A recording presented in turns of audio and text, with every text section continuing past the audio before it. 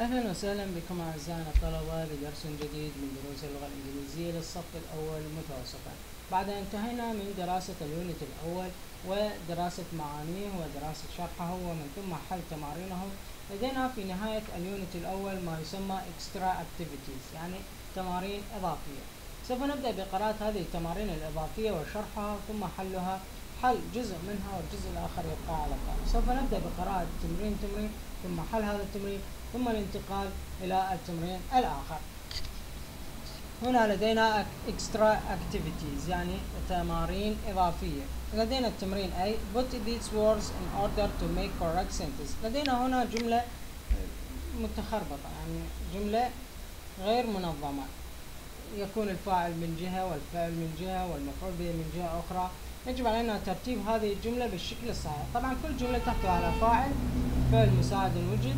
أو ظرف آه فاعل فعل مساعد ثم الفعل الرئيسي ثم مفعول به ثم تكملة الجملة أو الظروف أو الصفات سوف نبدأ بقراءة هذا التمرين وثم حل جزء منه. لدينا هنا نقطتين فقط لهذا التمرين. Put these words in order to make correct sentences.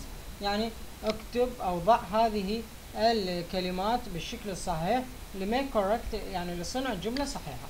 لدينا هنا ريتشارد thought was football match boring كما تلاحظون هنا الجملة غير منظمة. في حالة غير تنظيم. يجب علينا تنظيم هذه الجملة. السؤال الثاني أو النقطة الثانية. Weekend friends you the do at your visit? كما تلاحظون جملة غير منظمة. آه كما تلاحظون جملة غير منظمة سوف أبدأ بحل وترتيب هذه الجملة ثم نعود إلى أهلا وسهلا بكم من جديد. هنا لدينا قد آه نظمنا هذه الجملة لتكون بالشكل الآتي آه لدينا في سؤال Richard thought the was football match boring يعني نريد أن نقول بأن ريتشارد يعتقد بأن مباراة كرة القدم كانت مملة. فنأتي إلى وضع الفاعل في بداية الجملة اللي هو ريتشارد. ريتشارد الفاعل ثم نأتي بثاوت. Richard thought. the football match نأتي بالمفعول به the football match يعني ريتشارد يعتقد بأن آه مباراة كرة القدم was boring. نأتي بالفعل المساعد ثم boring. يعني إيش كانت؟ آه Richard thought the football match was boring. ريتشارد يعتقد بأن مباراة كرة القدم كانت مملة. هذا بما يخص التمرين الأول. سوف ننتقل إلى التمرين الثاني. التمرين الثاني أعزائنا الطلبة لدينا آه puzzles بمعنى لغز هنا لدينا بعض الأسئلة وكل سؤال يحتوي على كلمة واحدة. يجب علينا وضع هذه الكلمة هنا في هذه المربعات.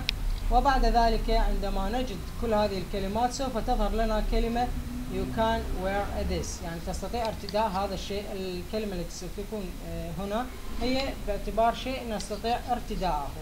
سوف نأتي إلى قراءة تمرين تمرين ثم ترجمته. وبعد ذلك ننتقل إلى حل جزء من هذا التمرين والجزء الآخر يبقى على الطالب. التمرين الأول You go there every Friday. أنت تذهب هناك كل جمعة. في كل يوم جمعة أنت تذهب إلى هذا المكان. إذا يجب علينا كتابة هذا المكان هنا في هذه المربعات. The past tense of go يعني الفعل الماضي لكلمة go كلمة go في الفعل المضارع. بالفعل الماضي ماذا تصبح هذه الكلمة؟ سوف نذكرها هنا.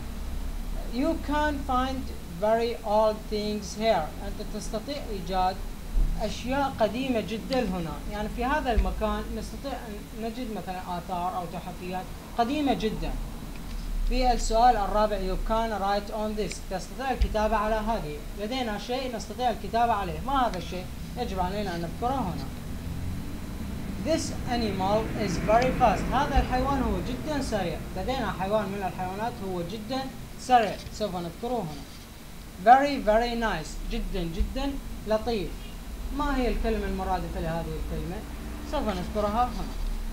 والسؤال السابع والأخير you can ride on this animal. تستطيع أن يعني تستطيع رايد أن تسوق هذا الحيوان.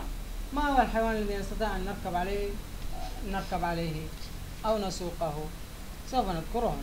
سوف نذهب إلى حل هذا التمرين ثم نعود مرة أخرى لتكملة باقي التمارين. أهلا بكم مرة أخرى. آه قد تم حل بعض من هذه الأجزاء والجزء الباقي سوف يبقى واجب على الطالب يجب هو باجتهاده الشخصي أن يحل هذا الجزء.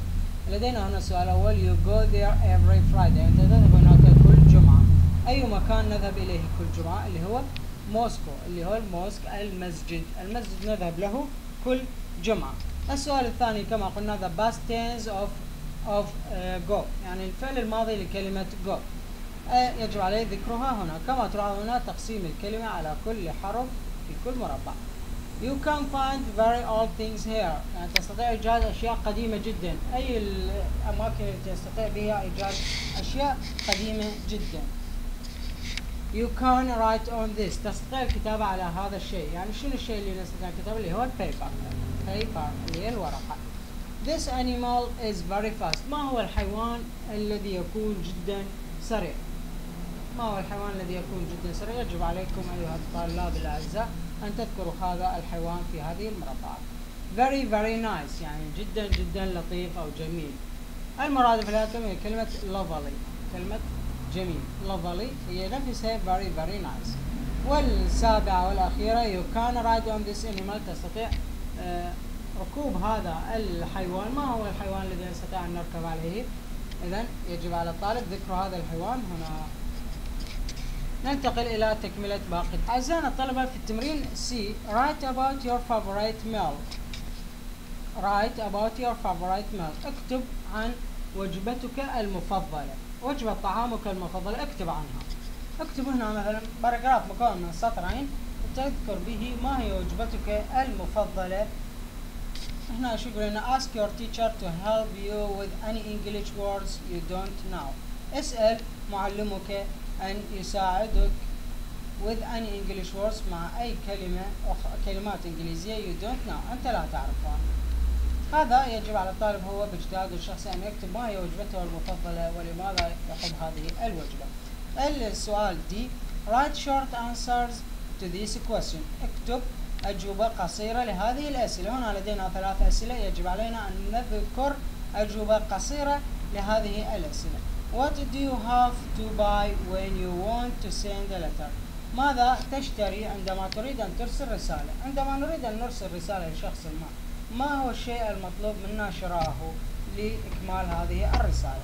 هذا السؤال الأول السؤال الثاني Where can you find Seychelles أين تستطيع إيجاد سي أصداف البحر؟ يعني Where can you find Seychelles أين تستطيع إيجاد أصداف البحر؟ بأي مكان نقدر نوجد هذه الصدف البحر نأتي إلى السؤال الثالث والأخير. Name two things that grow in a garden. اكتب شيئين ينموان في الحديقة. لدينا مثلا نباتات أو أي شيء كان ينمو في الحديقة يجب علينا ذكر هذه الشيئين هنا. سوف ننتقل إلى حل هذا التمرين ونعود إليكم مرة أخرى لإكمال باقي التمارين. أهلا وسهلا مرة أخرى. هنا آه تم حل آه تمرين واحد فقط أو نقطة واحدة فقط. Uh, the second uh, points and uh, the third points النقطة الثانية والنقطة الثالثة يجب على الطالب هو باجتهاده الشخصي أن يحل هذا الشيء. كما ذكرنا هنا what do you have to buy when you want to send a letter ماذا يعني تحتاج أو ماذا تشتري عندما تريد أن ترسل رسالة؟ يجب علينا شراء stamps. Stamp. يجب علينا شراء الستامب لإكمال الرسالة. أما النقطة الثانية والنقطة الثالثة where can you find seashells أين تستطيع إيجاد صدف البحر؟ والسؤال الثالث name two things that grow in a garden. آه اكتب شيء اسمين لأشياء ينموان في الحديقة. يجب على الطالب أن يكتب ويحل هذه النقطتين. ننتقل أعزائنا الطلبة إلى النقطة أو السؤال الثالث. السؤال E من extra activity في هذا السؤال listen to Sarah talking about her holidays right? Now يعني لدينا هنا سوف ننتقل إلى استماع ما تقوله سارة وثم نكتب هذه الملاحظات. سوف ننتقل إلى استماع المقطع الصوتي ثم نعود إليكم مرة أخرى. أعزائنا الطلبة في صفحة رقم 109 هنا لدينا ما تقوله سارة عن عطلتها سوف نأتي للاستماع للمقطع الصوتي وبعد ذلك سوف نأتي إلى قراءة هذه هذا الباراجراف ثم شرحه ووصفه بما قالته سارة سوف نستمع الآن إلى المقطع الصوتي ونعود لكم مرة أخرى It is track 9.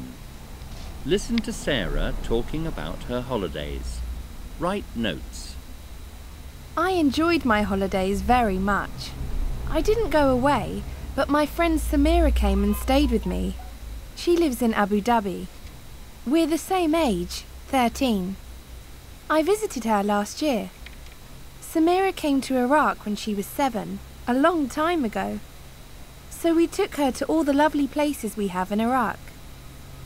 We went to the museum, and Samira said it was very interesting. One weekend we went to Hatra.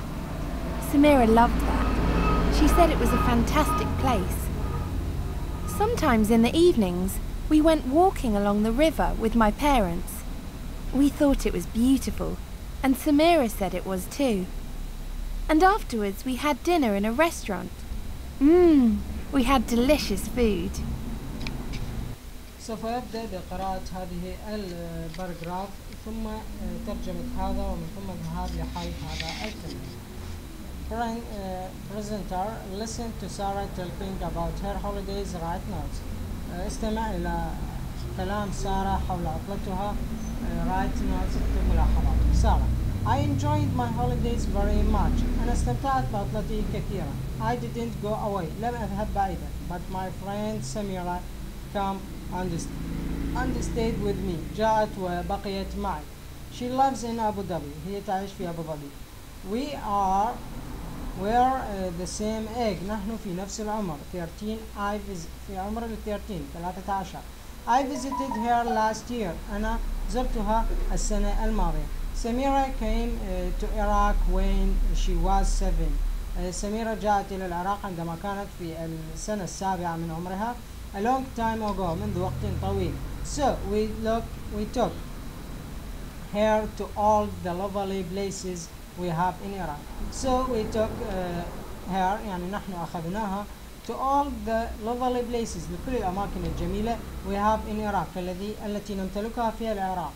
We went to the museum نحن ذهبنا إلى المتحف and Samira said it was very interesting uh, هو كان uh, very interesting جدا uh, رائع وجميل one weekend uh, في أحد أيام um, نهاية الأسبوع we went to Hatra ذهبنا إلى الهترة إلى الحضارة Samira loved that أحبت ذلك she said it was a fantastic place كان مكانا رائعا sometimes in the evening بعض الأحيان في المساء we went walking along the river نحن نمشي طويلا على النهر uh, with my parents مع عائلتي we thought it was beautiful uh, نحن اعتقدنا بأنه جميل uh, and Samira said it was too وسميرة قالت أيضا بأن ذلك جميل and afterwards وفي وقت لاحق we had dinner انت يعني تناولنا العشاء in a restaurant في المطعم مم we had delectation food نحن نملك طعام لذيذ هذا بما يخص سارة تلكي حديث سارة سوف ننتقل الآن إلى حل التمرين وثم نبدأ بحل جزء من هذا. هنا يقول لنا listen to Sarah talking about her holidays right now استمع إلى قول سارة لصديقتها وثم اكتب ملاحظاتك. هنا لدينا بعض الأسئلة يجب علينا أن نحل هذه الأسئلة. What is Sarah friend's name؟ ما اسم صديقة سارة؟ Sarah friend's uh, name is اسم صديقة سارة هي سميرة السؤال الثاني where does she live? أين تعيش؟ سميرة وين تعيش؟ يجب على الطالب أن يحل هذا هذه النقطة. فيجب أن يذكر ما درسناه في صفحة رقم 109 109 وذكر لنا أين تعيش سميرة. How old is she? كم عمرها؟ She is 13 years old. عمرها 13 سنة. والسؤال الرابع والأخير Where did Sarah family take her آه عائلة سارة وين أخذوا سميرة؟ أي الأماكن اللي زاروها لدينا ثلاثة أماكن زاروها. يجب على الطالب أن يذكر هذه الأماكن التي زاروها. عائلة سارة مع صديقتها سميرة. إلى هنا ينتهي آه التمرين إي من extra activities من التمارين الإضافية. ننتقل الآن إلى التمرين F.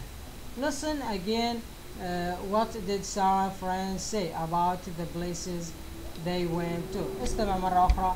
What did Sarah friends ماذا قالت صديقة سارة حول الأماكن التي ذهبت إليها. يجب على الطالب أن يستخرج النقاط التي ذكرتها سميرة عن الأماكن التي زارتها أو ذهبت إليها في العراق.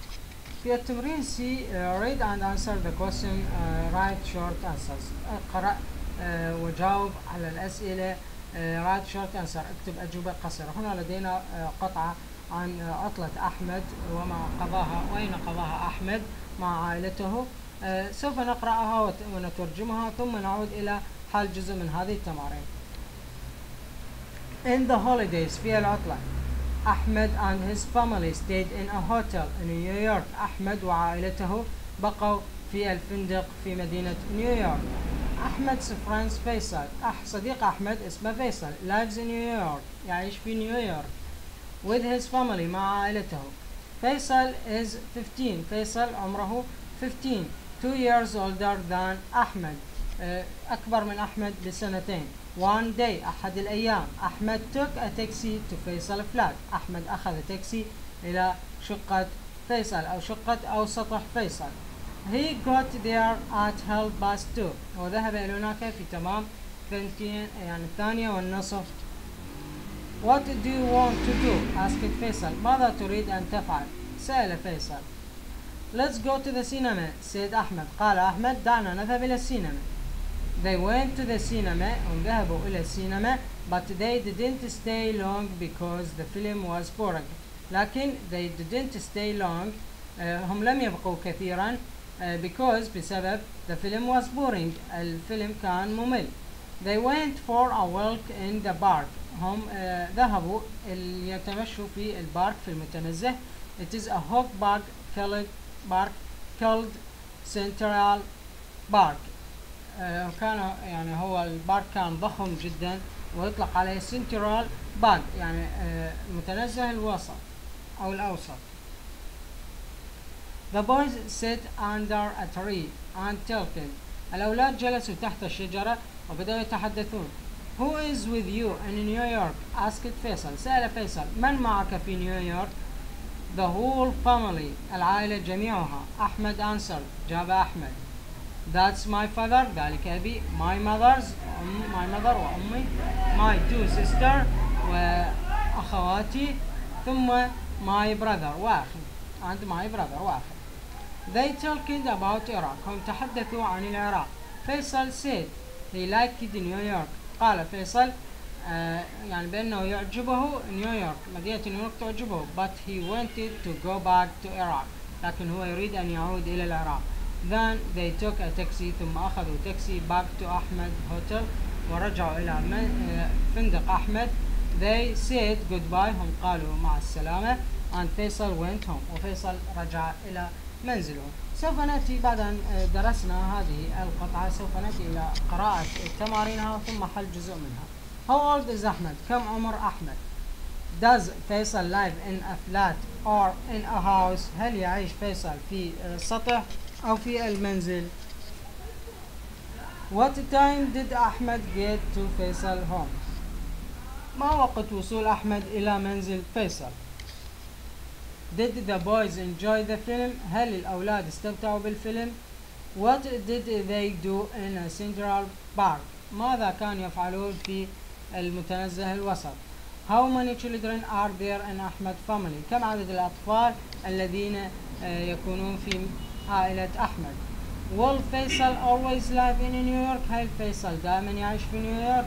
How did أحمد get back on his hotel؟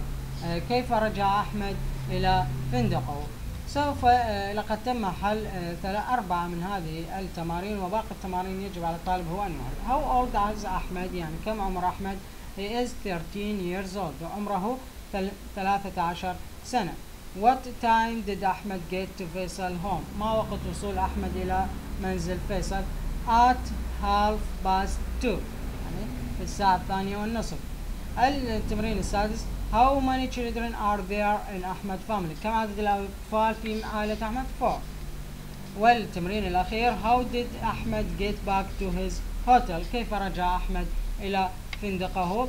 He take a taxi هو أخذ تاكسي. آه، بعد أن انتهينا من قراءة هذا التمرين سوف ننتقل الآن إلى قراءة التمرين الآخر من آه، extra activities من تمارين الإضافة. آه، في هذا التمرين تمرين آه، read and complete the sentence you- with the words in the box. هنا لدينا بعض الكلمات يقول لنا اقرأ وأكمل الجمل مع الكلمات في الصندوق هذا لدينا هنا أربع كلمات يجب علينا أن نضع هذه ضمائر التملك في الفراغ المناسب لها هنا لي ماين بمعنى ملكي هيرز بمعنى ملكها theirs بمعنى ملكهم yours بمعنى ملكك. هنا لدينا ضمائر. التملك يجب علينا أن نضع هذه الضمائر في الفراغ المناسب لكل ضمير. My brother went wanted to play with my computer games. أخواني يريدون أن يلعبوا بحاسوبي حاسوب ألعابي. but they won't لكنهم لا يريدون. Let me لا لا يدعونني play with ألعب. أريد أقول ألعب معهم. فأقول play with theirs أنا ألعب معهم هاي بالنسبة للأولى. النسبة الثانية they the pen isn't that pen ذلك القلم isn't فراغ. I only let it to you. ذلك القلم ليس فراغ. أنا فقط تركته لك.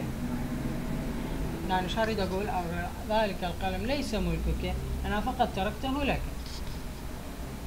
It is فراغ and I need it. هو فراغ وأنا أحتاجه. إذا أريد أقول هو ملكي وأنا أحتاجه إذا أقول it is mine and I need it. النقطة الثالثة I give this book to ليلى so now it is فراغ بعد أن شرحنا هذا التمرين. سوف ننتقل إلى حل جزء من هذا التمرين والجزء الآخر يبقى على واجب على الطالب أهلا وسهلا مرة أخرى. كما ذكرنا هذه لدينا ضمائر التملك ولدينا هنا الفراغ المناسب له لضمائر التملك. يجب علينا أن نضع الضمير المناسب في الفراغ المناسب. كما ذكرنا الجملة الأولى my brothers want to play with my computer game. أخويا أخواني يريدون أن يلعبوا بكمبيوتر حاسوب ألعابي but they won't let me play with فراغ لكنهم لا يريدونني أو لا يدعونني أن ألعب theirs معهم. هاي بالنسبة للنقطة النقطة الثانية that pen isn't فراغ. I only lent lent it for you. It is فراغ and I need it. ذلك القلم ليس فراغ أنا فقط وضعته لك. it is فراغ and I need it هو فراغ وأنا أحتاجه. إذا لدينا هنا ذاك القلم أريد أن أقول ذاك القلم. ليس ملكك إذا وأنا فقط تركته لك. It is mine هو ملكي and I need it وأنا أحتاجه. والنقطة الأخيرة I give this book to ليلى so now it is فراغ. يعني أنا أعطيت هذا الكتاب إلى ليلى. So now it is فراغ. يعني إذا الآن هو فراغ. كتاب ملك من يصير ملك ليلى فيجب علينا أن نضع أحد هذه الضمائر. السؤال الأخير والتمرين الأخير من extra activities from unit 1 من التمارين الإضافية من اليونت الأول. يقول لنا write five sentences using these words. لدينا هنا بعض الكلمات خمسة كلمات. يجب علينا أن نذكر خمسة جمل لكل كلمة من هذه الكلمات. طبعا هذه هذه الظروف ذكرناها في الدروس السابقة. سوف نأتي إلى مراجعتها. ثم ذكر بعض من هذه. هنا لدينا sometimes بعض الأحيان often غالبا usually عادة always دائما never أبدا للنفي دائما. فسوف أبدأ بحل جملتين فقط. أما الجمل الثلاثة المتبقية هي واجب على الطالب.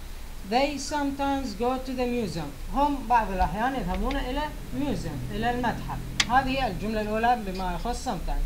بما يخص often تركتها لكم وبما يخص usually we usually go to the Moscow on a Friday. نحن عادة نذهب إلى الجامع في يوم الجمعة.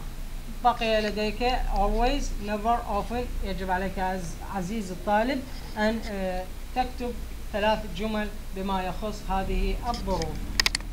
إلى هنا أعزائنا الطلبة ينتهي درسنا لهذا اليوم من Extra Activities from Unit 1 من التمارين الإضافية لليونت الأول نراكم بدرس جديد ولا تنسوا الاشتراك والإعجاب بالفيديو.